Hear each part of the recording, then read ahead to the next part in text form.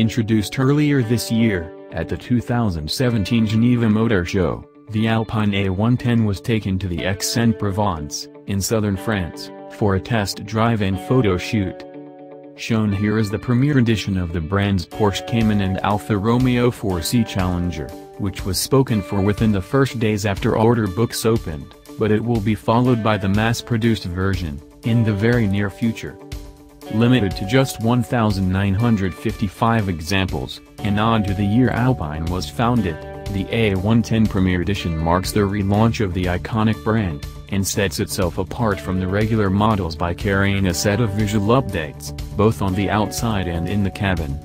As far as the sticker price goes, the manufacturer asked $58,500 for each unit, which equals to $69,370 at the current exchange rates.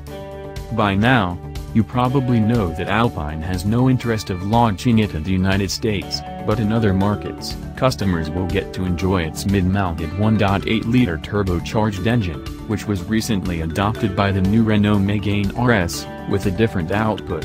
In the A110, the unit is rated at 252 PS, 248 horsepower, and 320 newton-meters, 236 pounds-to-foot, of torque, enabling a 0 to 100 km per hour, 62 miles per hour, sprint made in 4.5 seconds, and a top speed electronically capped at 250 km per hour, 155 miles per hour.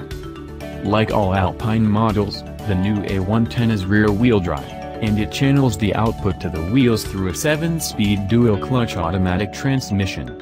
Drivers will be able to choose between one of the three modes, called Normal, Sport, and Track, which adapt the entire car according to the selected setting.